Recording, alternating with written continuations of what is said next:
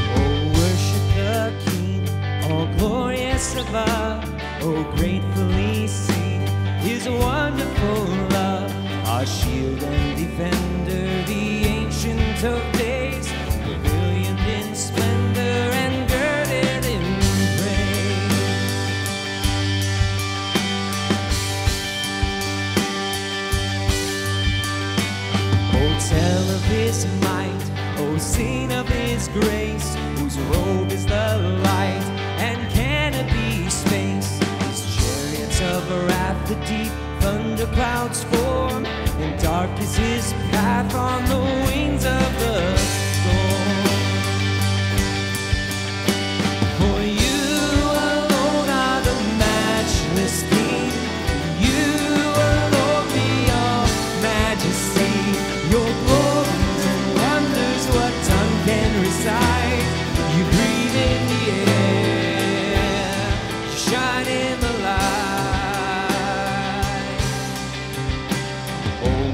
measureless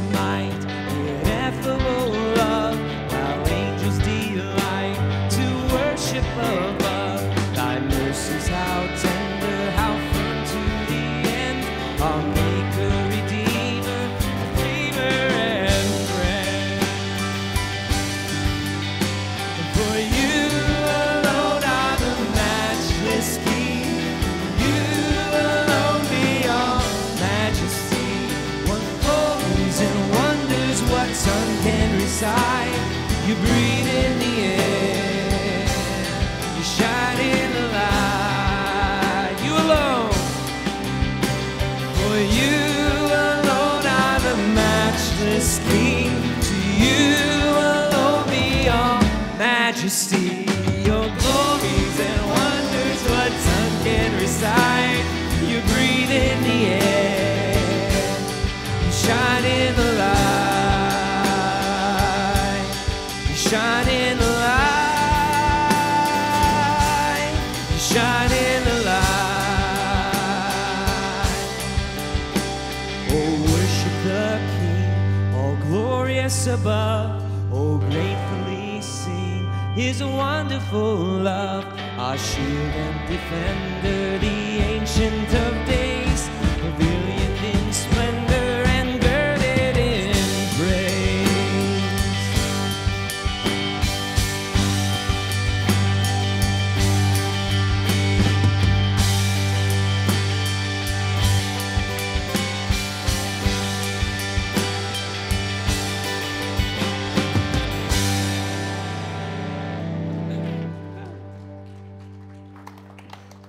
Go ahead and have a seat.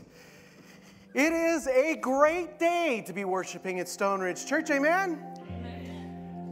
Because no matter what day it is, we can always celebrate the resurrection. So even though we're a week out from Easter, it is still a resurrection day because Jesus lives and lives every day, 24 hours a day, seven days a week, and we get to be here to worship and praise Him. So thank you for choosing today to join us right here in this time of worship. If you are new with us, You are so welcome here. We are glad that you are here. We would love to be able to connect with you. Very simply done. You can pull out your phone, text the word hello to 928 248 8778. It'll send you back just a quick form. You can tell us uh, your email, your phone, ways for us to help you out. You can ask questions through that number as well. Also, it is a great way to connect with our prayer ministry. So if you put in the word prayer and send it to that same number, 928 248 8778, we have an incredible group of prayer partners that take those prayers during the week and they pray over them. And they ask God to intercede on the very behalf of what you're asking for.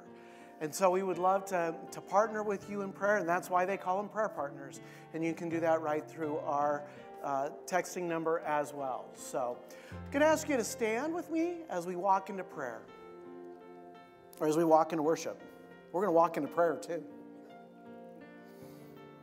I actually hope we run into prayer. That's, that's the more appropriate word, right? We're going to run into prayer.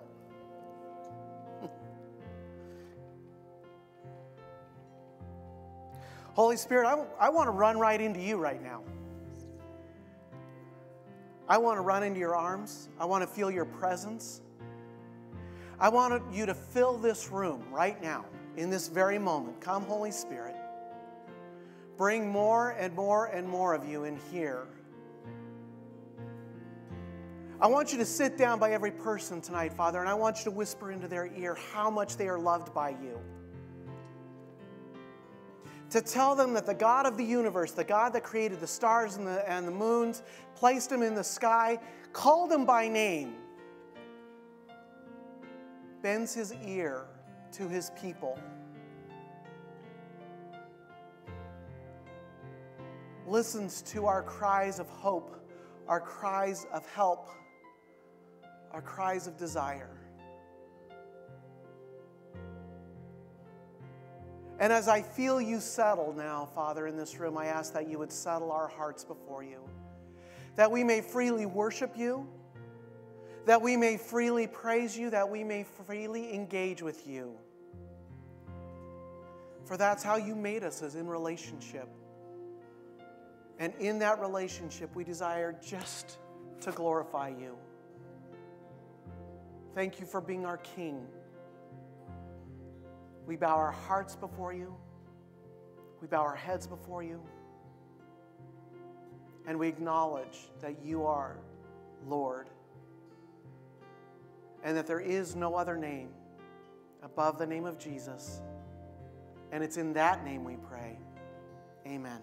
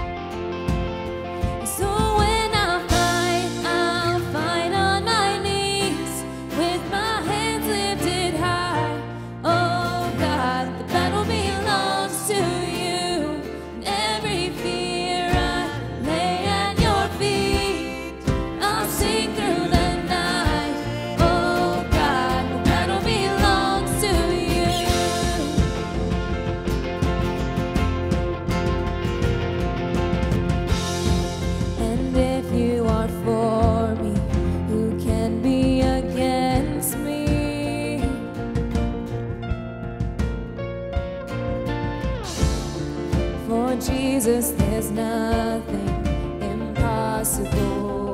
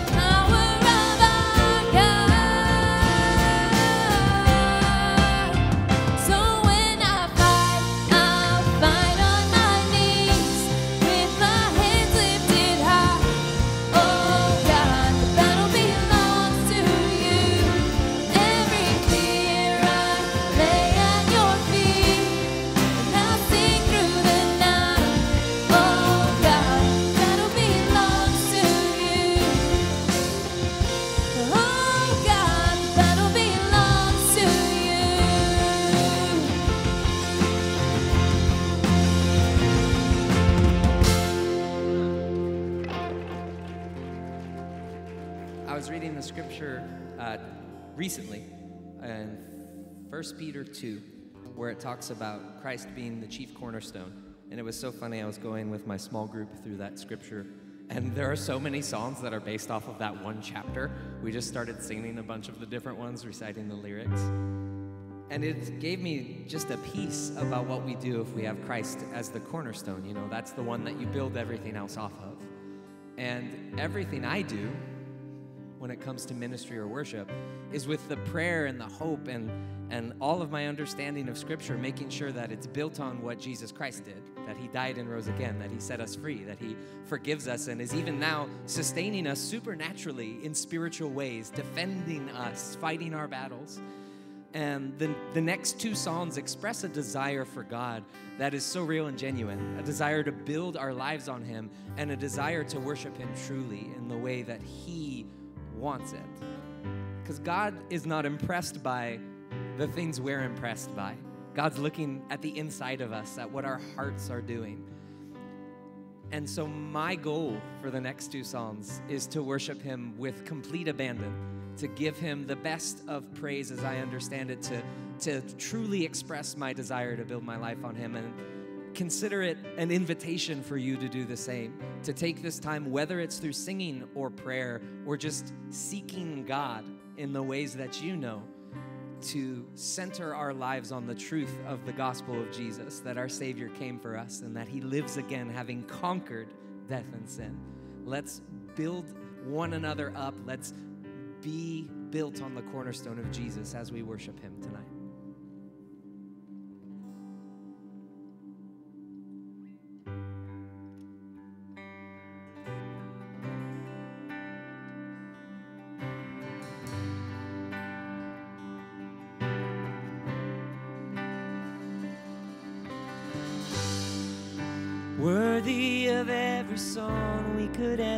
Ever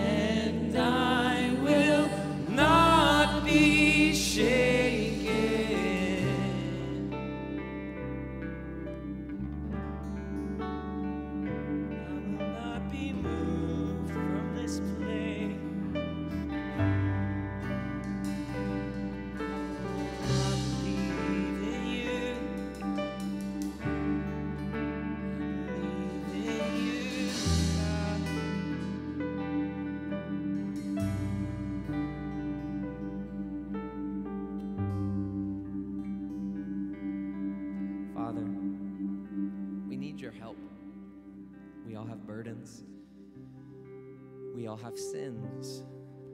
We all have weakness that we cannot fix. But you designed us for dependence, and you love to meet our needs. You love when we come to you. So tonight, would you help us to see what worship is in a new way for us as individuals, for us as a church? Help us to explore what it means to adore you and to be in a place where your glory is, where your presence is. Would you be glorified as we live out our obedience in a simple song? We give you this, our worship in Jesus' name.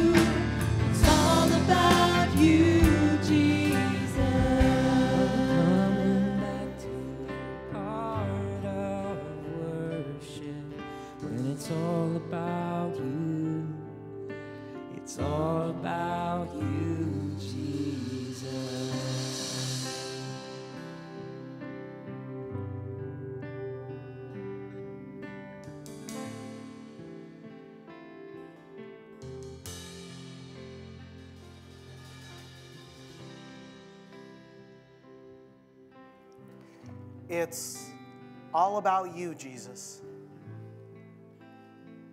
It's everything that we believe. There was a chorus in the last song that says, I will build my life upon your love. It is a firm foundation. And it goes on to say, I will put my trust in you alone, and I will not be shaken. In my BC days, my before Christ days, I knew about Jesus. I had heard the stories, knew what they meant. But the trust was here, not here. And to build on a firm foundation, on to make that trust, it has got to move into our hearts where we say it is all about you, Jesus. Not just what my brain thinks, because my brain will mess me up every time. But my heart, my heart says, I love you and I trust you. And it's all about you. Everything from every breath I take in the morning to the people I interact with during the day, to what I do with my money, to what I do with my time, to what I do with my talent. It's all about you, Jesus. I trust you and I love you. And it took a near disaster in my life, in my marriage, for me to realize that what I had in my head had not gone to my heart. And maybe tonight, that's exactly where you're at. That I have this great knowledge in my head, but I've never let the foundation come to my heart. I've never let the love fill my heart. It's all about you, Jesus. It's all about you. Here at Stone Ridge, we believe that part of our worship service is the acknowledgement of our giving. And whether you give online or in the boxes in the back or anywhere else, however you give, it's all about you, Jesus. And we do it cheerfully and gladfully and thankfully because it's all about you, Jesus. So, would you bow your heads with me as we enter into this time?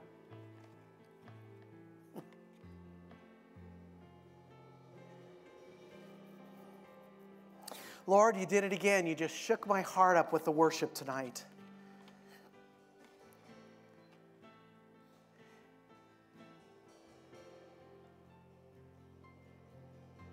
As James Bond would say, I was shaken, not just stirred. I was moved. I was reminded of a time, Father, when I did not know you.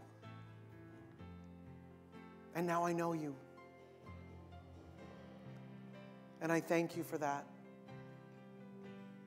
And Father, as we give, as we give financially, as we give in time and in talent, as we give emotionally, Father, we give because we love you and we are grateful. And you give us that opportunity.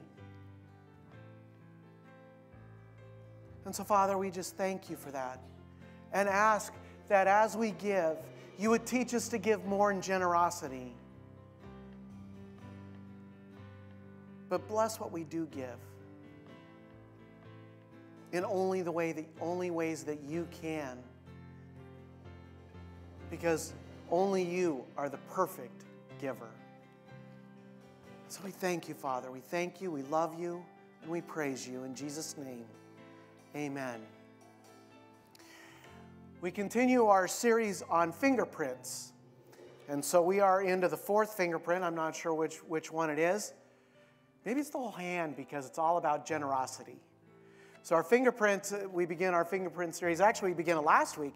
We continue our series on, with the fingerprint of generosity. And one of the things we want to share about that is that you, you saw a card uh, on your chair this evening as you came in. For probably the last, oh, I would say three years, I have seen the craziest challenges on the internet. I saw the ice challenge where they would dump a bucket of, of ice water over you and then challenge other people to do it and say, Here, give money. Then I saw the teenagers who were saying, Hey, do a, do a, a teaspoonful of or a tablespoonful of, of cinnamon. And I'm thinking, what a waste of cinnamon. Give it to me, I'll put it in my cinnamon rolls. I'm watching these people are just choking on this stuff. And then I heard about the pod, the, the Tide Pod challenge, which to me is just gross. But let us challenge you tonight with a real challenge. It's called the Matthew 25 Challenge. And tonight, Pastor Tom is going to be talking about Matthew 25. But the challenge is really about can you walk for a week in somebody else's shoes? Can you step in to somebody that you don't know and experience a little bit of their life as we live in this abundant nation. Before I tell you more about that, please watch this video. Then the king would say to those on his right, Come, you are blessed by my Father. Take your inheritance, the kingdom prepared for you since the creation of the world.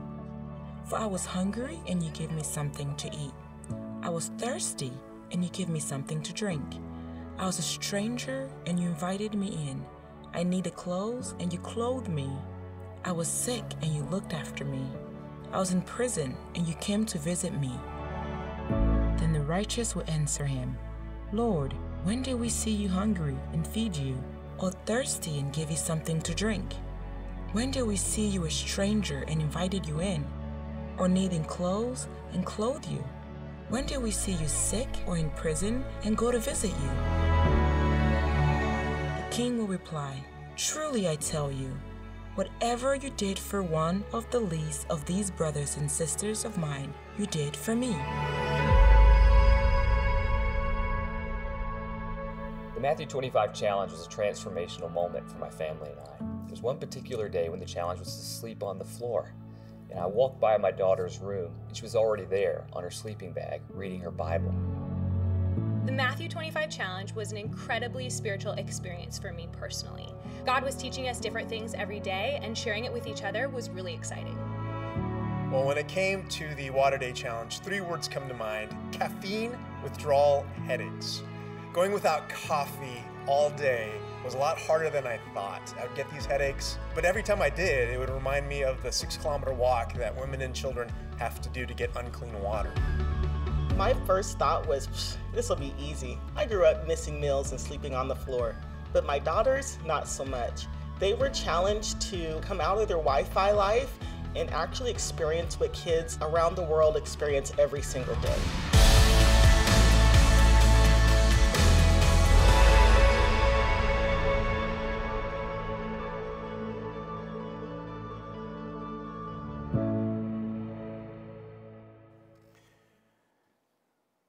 So, in partnership with World Vision, we have accepted the Matthew 25 challenge. And on your, on your uh, seat, there was a card like this that if you are interested in taking the challenge, we would love for you to do that. Now, I want you to understand, I had a, I've had a discussion with people that said, sleep on the floor? You got to be nuts. Do you know how hard it is for me to get out of bed, much, up, much less up off the floor? And I thought about that and I thought, Okay, so what if you did something differently? Maybe you don't sleep on the floor, but you make your bedtime experience something that's uncomfortable. Or if you can't give up a meal, how do you make that time uncomfortable? How do we actually walk through? Because even though we live in a country of luxury, Most of the world doesn't. And they still sleep on the floor. And they still, and even though their body is used to it, they still have to deal with the things that many of us in the United States don't have to deal with. And we want to walk a week in their shoes. And so if, if you'll text the word, if you'll pull out your phone, you can text SRC to 56170. You will also find that on your card. Every day it will give you a verse, it'll give you a devotional, it'll give you a video about the challenge. And so starting on Monday, Monday, it asks you to skip your lunch and then only have rice and beans for dinner. Then on Tuesday, it says to drink only water. I think that's where the gentleman said, Can you say caffeine, caffeine withdrawal uh, headache? Wednesday was sleep on the floor tonight. Thursday, wear the same clothes that you wore the day before. For there's many people who are lucky to have one set of clothes where we have many. Friday, Friday then is to, is to reach out with somebody, to somebody who's going through a difficult time. And then Saturday is just to spend 30 minutes in prayer. And this Matthew 25 challenge sets us up for the weeks coming up. What you'll see when you get when you do the text challenge is you will get a, a, a message like this that says, "Day one challenge for I was hungry, gave me something to eat." It'll give you a daily challenge, the video story, and a devo and prayer. Even if you do not physically feel like you can do the physical challenge, consider doing the devotional and the video as we as a church step into what it means to walk as other people walk in Matthew 25. So, with that, I'm going to let you take over from there. The Matthew 25 challenge is a precursor to something that's happening next weekend uh, that I'm kind of excited about. It's called Chosen, and it's a it's a culmination of this partnership with World Vision.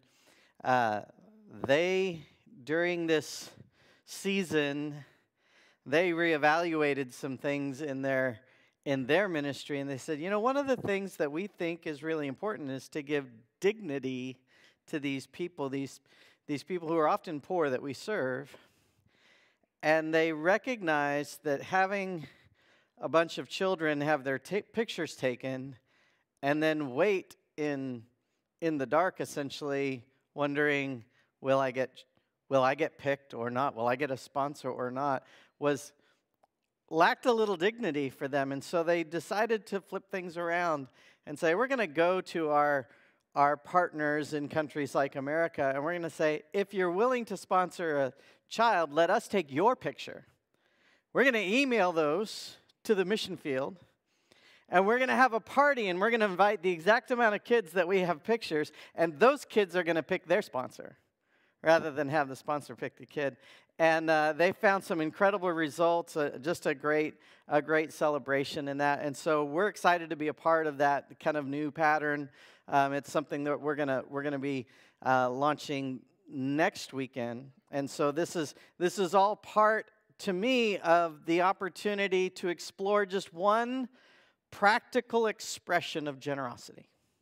And there are no end of ways that we can express generosity, and this may or may not be the one that that uh, or be a one that you feel God calling you into. But I think we can all celebrate uh, anytime a kid gets gets a hand up like this. I think we can all celebrate that together.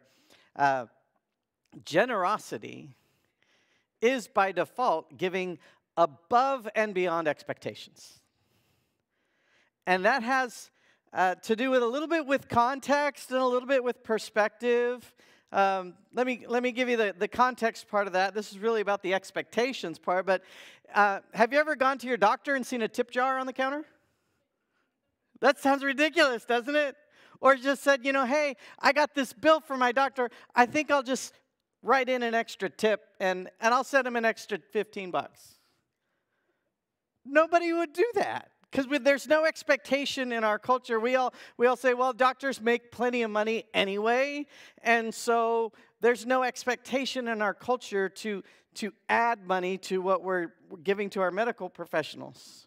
and just the context of giving, there has to be an expectation for there, and, and it has to be above that expectation for there to be generosity. So, for example, if you're going out to eat and you get reasonably good service and you give a 10 or 15 or whatever percent tip, I don't know that most of us, I certainly wouldn't call that, it's, it's good to give a tip, but it's kind of meeting the expectations, not going above and beyond. I wouldn't call that a generous tip, it's just a normal tip. But if you decided, and I saw this, I saw this movement a while back. I, I, haven't, haven't, heard about it lately, but there was a, a movement a while back. I think Butch, you turned me onto it. It was tip your bill, wasn't it? And it was go in, ha- have a meal at a restaurant, and then write in on the tip thing the same amount that your bill is, and just be a blessing to your wait person. That's generosity, especially depending on where you eat. Um, so, context, the context that you're in really affects our view of generosity, but so does perspective. If I give my friend a $1,000 birthday gift, you would probably say, Wow, that's crazy generous. And let me tell you when my birthday is. But if my friend was really disappointed in the $1,000 birthday gift, you would probably think, what a jerk. I mean, they got a $1,000 birthday gift. But what you don't know is that for the previous five years, I gave them a $5,000 birthday gift. And so they got the $1,000 birthday gift and they thought, oh, I was, I was kind of expecting something different. For the record, I have never given a thousand or a five thousand dollar birthday gift. Don't count on it. Um, but our perspective, the perspective of the giver or the receiver or the person observing generosity, it, it, it matters to how we would define generosity. And what also matters is what we're talking about, because generosity is so much more than just money. You can be generous with your time, with your attention, with your uh, forgiveness. You can be generous with compassion. There's, there's any number of ways that you can be generous. It's so much more than money, it's just what we're giving, what we're sacrificing for another's benefit. And we see that modeled by Jesus. Jesus modeled generosity, but Jesus didn't have a lot of financial resources on his own. So, what we see in the life of Jesus is generosity with his time, generosity with his attention, generosity with forgiveness. We're all recipients of that. See, Jesus stopped to give individual attention to people that a Jewish rabbi would not normally associate with. He would normally avoid someone like a Roman soldier. A Jewish rabbi and a Roman soldier had very little to do with each other. A rabbi would not assume a Roman soldier to be even interested in what he would have to say, and certainly a Roman soldier wouldn't come and be asking favors from a Jewish rabbi, except it happened. And Jesus stopped and gave him time and attention and served his need.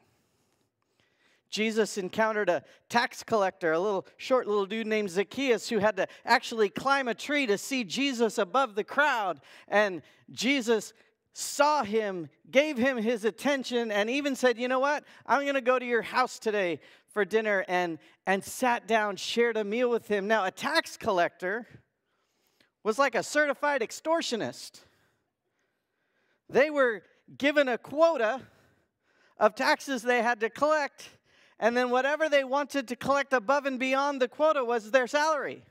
It wasn't set. It's kind of kind of open-ended. And tax collectors were notorious for ripping off their communities because they didn't have a lot of guidelines they had to work with.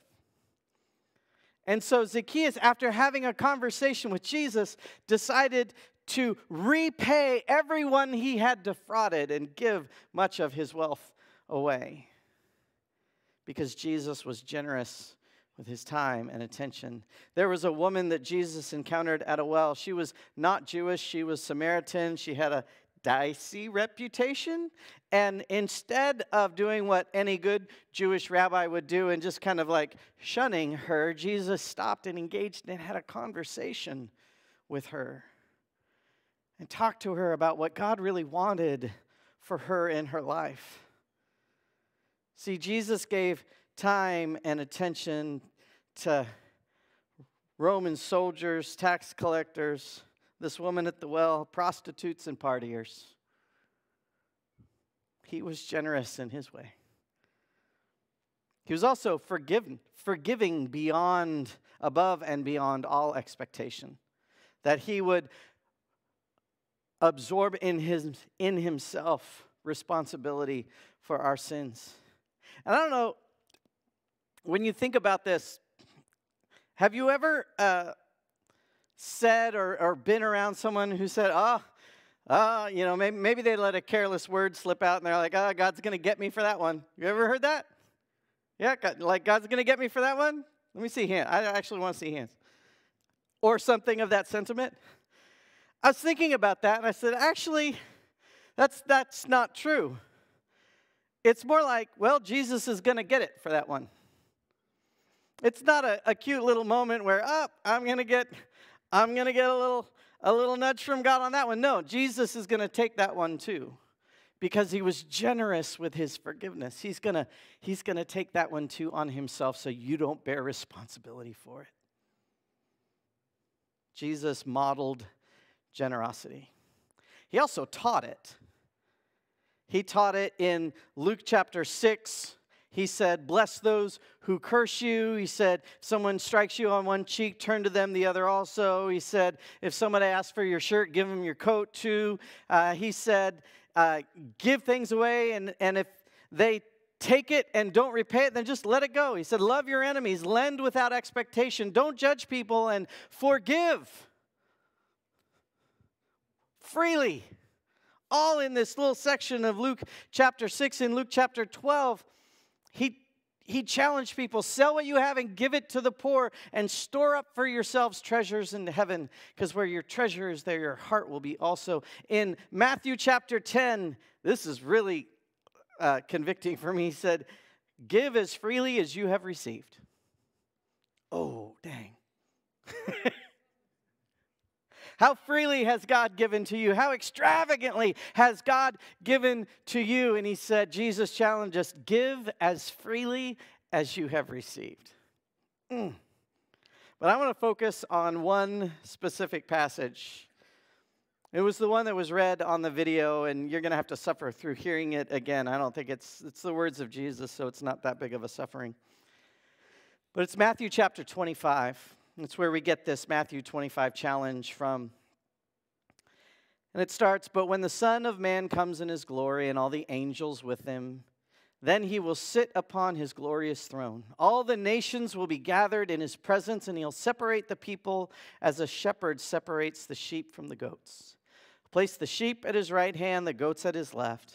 Then the king will say to those on his right, Come, you who are blessed by my Father Inherit the kingdom prepared for you from the creation of the world.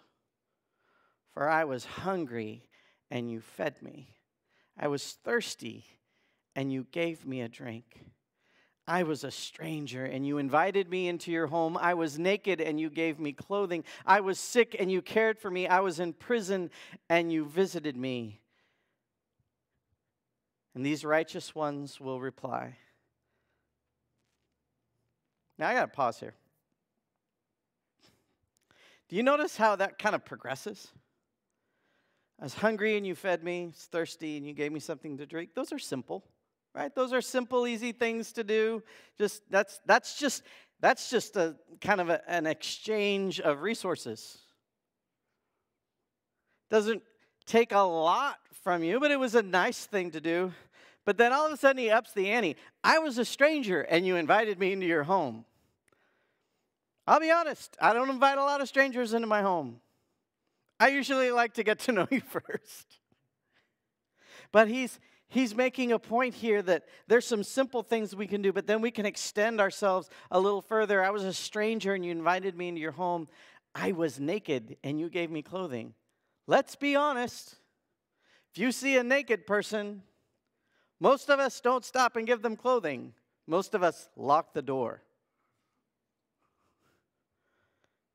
Most of us are like, whoo. That person, like, we're on the phone with 911. There's a naked guy in my neighborhood. There's a naked guy running around the parking lot. Do something about it. because there's a fear in us with strangers and naked people. And he ups the ante again, honestly. I was sick and you cared for me. I was in prison and you visited me. It ups the ante again because sometimes we're afraid that if we care for a sick person, we'll get sick ourselves. If we go to prison, what, what will people think of me if they see me driving into or out of the prison? Can assault our pride a little bit. There's all this wrapped up in this statement that Jesus says, and then he, he goes in completes the story with the righteous ones will reply, Lord, when did we ever see you hungry and feed you, or thirsty and give you something to drink? Or a stranger and show you hospitality, or naked and give you clothing? I think I would remember that one. When did we ever see you sick or in prison and visit you? And the king will say, I tell you the truth, when you did it to one of the least of these, my brothers and sisters, you were doing it to me. It's fascinating to me. Jesus tells the story like this.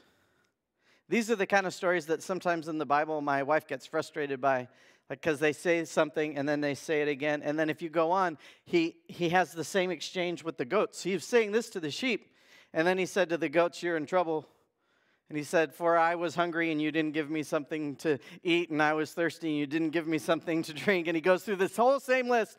And then he goes through it again when those people say, Wait a minute, when did we see you that and this and that and this? And so he, in the context of just this one story, he repeats that list four times. You think that was an accident?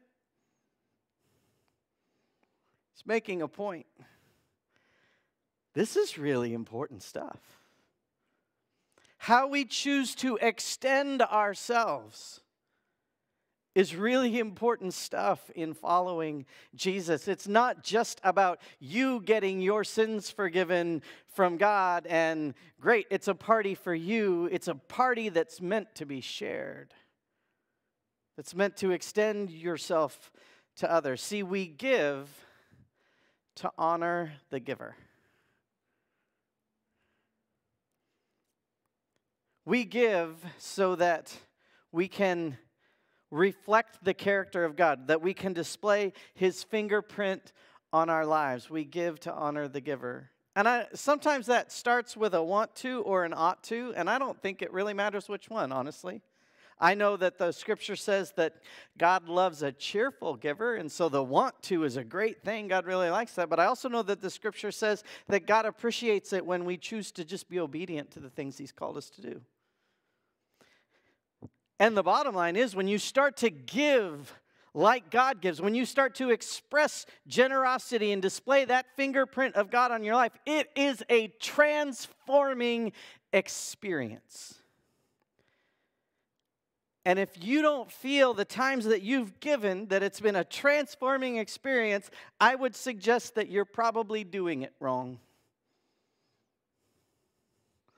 Let me show you what giving like Jesus gives looks like it's without regard for worthiness.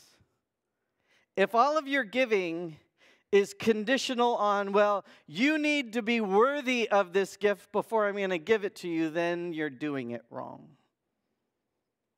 In fact, that's part of the power in some ways of things like the, the tip your bill challenge. Because sometimes you can tip your bill to a wait person that didn't deserve it, that didn't treat you that well. And when they receive it, and, they and they come back to your table and think, I, I think you made a mistake. You, you just wrote the, the amount of the bill in here. And you turn around and say, No, I just really wanted to do something nice for you today. I hope you have a blessed day. You might get someone that just stops and says, But wait a minute, I've been a jerk to you. I've been impatient with you, or I haven't really given you the attention that would deserve a tip like this. And you're like, that's okay. I think that's how God blesses people. Just presents an opportunity. And I'll tell you what, the more we give without regard for worthiness, the more we experience what God experiences when He gives to us. Now, there is a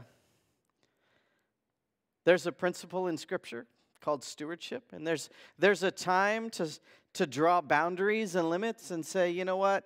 Uh, I don't think this is a good investment or I don't think this is a good place. But when we're talking about personal, one on one generosity of our time, particularly of compassion and forgiveness and attention, shouldn't be tied to worthiness. So that's one way to have a transformative giving experiences to give without regard for worthiness. Here's another one to give above and beyond expectation. When someone comes to you and says, you know, something rude, to forgive them not because they ask you, to forgive them before they ever ask you, because they may never ask you for forgiveness. But to offer forgiveness before it's even asked for is above and beyond expectation. To offer compassion to someone, as Jesus said, to love your enemies, to bless those who curse you, and do kind things to those who persecute you, to, to return goodness and kindness for harshness. That's generosity in our compassion and you will find it giving life to your soul. It transforms not just the people you're giving to, but it transforms yourself. And then I would say to give in a way that honors the giver would be to give in every conceivable way. I said time, talent, treasure, attention, compassion, forgiveness but that's just the beginning. There's no end to the ways that we can express the generosity of God. And I'll tell you, my deep hope for this series, for this month, is that generosity would become something actually less complicated for us, something simple. Something that just says, you know what? I want to be generous because God's generous with me. That's it. It's that simple. And I hope there is this stirring in our hearts to be more generous people. I've had a I've had a desire ever since uh, I took on the lead pastoral here several years ago I've had a desire to see the church grow in generosity. See, not everybody knows this, but we give of what is given to the church, we turn around and we give 10% of that out to missions projects and organizations and things like Crossroads Mission. And so some things that are local, but some things that are regional or international. And so we're always, we're always turning around 10%. And years ago, I had this thought like, why, why shouldn't the church grow in generosity. And I even said it once or twice in a sermon like that someday we would bump that up uh, to 11% and then someday to 12% and someday to 13%. And in my head, the, the ultimate goal, the beautiful goal would be that every time we spend a dollar at Stone Ridge, we're also spending a dollar somewhere outside of Stone Ridge. And I'll be honest, I, I forgot about that. It was something I thought about. I thought it was really engaging idea, and then and then life got in the way, and I forgot about it. And then I was preparing for this series again, and it just brought it all back up to me. Why can't we, as a church family, grow in generosity? So I promise you, when we get to budget time, which is a few months away, but when we get to budget time, I will bring it back up to the elders and I will say, hey guys, what do you think about growing in our own generosity and see where the elders want us to land in maybe progressively year by year extending our generosity as a church? Because I firmly believe we, we won't regret what we give generously. We'll only regret what we hoard selfishly. and I want to be a person and I want to be in a church that sacrificially gives in transforming ways. And I, and I hope that that's what's in your heart. I, I have always complimented Stone Ridge as already a generous church. But I don't think we have to stop there. I think we can become a church that is generous above and beyond and carry the fingerprint of God in that way. Let's pray.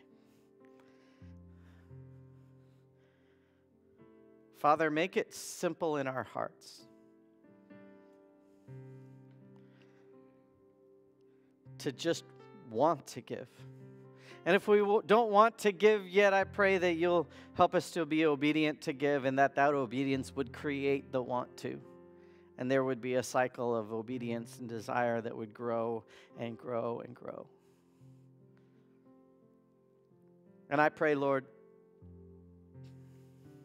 that we would see incredible fruit in your kingdom of people's needs being met, of their hunger being met, their thirst being met, their need for companionship met, their need for clothing and shelter met, their need for healing met. Lord, I pray that it would transform this church, but it would also transform our community as they experience the generosity, your generosity, through your people. It's in Jesus' name and for his sake we pray. Amen. Thank you, Tom. As with all of our fingerprints, there is the Generosity Challenge card. You can find this out in the lobby. One of my favorite, I'm going to do a shameless plug here. One of my favorites on this is called the 40 Acts uh, Challenge. And it's 40 days of a devotional with every day having a different act of generosity that you, you participate in. Uh, my wife and I did this as a devotional together, and it is, it is absolutely fantastic. It'll challenge you on a number of fronts. So uh, consider picking up a generosity project card. You can find those in the lobby on the wall. Also, if communion is part of your worship experience, we have communion over here under the cross. Uh, please, please take time to do that. Tom and I will be around if there was something that has pushed your buttons today, whether it is about the, gen- the uh, Matthew 25 challenge, to the generosity projects, or just I want to talk about accepting Jesus. We both will be around in the different areas please stop by, say hi, and, and let's have a conversation. So, God bless. It is a great day. It is still sunny outside. So, go enjoy. Have a great week. We'll see you right back here next week at Stone Ridge Church.